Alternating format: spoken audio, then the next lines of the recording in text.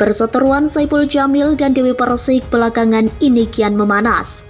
Saipul Jamil dan Dewi Persik saling membongkar masa lalu dan aib rumah tangga ketika menjadi pasangan suami istri. Perseteruan Saipul Jamil versus Dewi Persik bermula saat insiden salah paham sapi kurban yang menimpa Dewi Persik beberapa waktu yang lalu.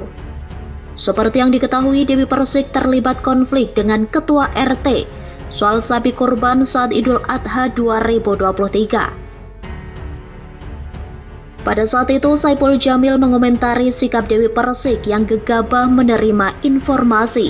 Dalam keterangannya tersebut, Saipul Jamil menyebut bahwa watak Dewi Persik memang sangat gegabah.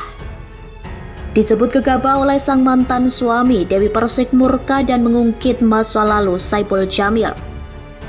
Dewi Persik pun meminta Saipul Jamil untuk tak ikut campur urusannya tersebut.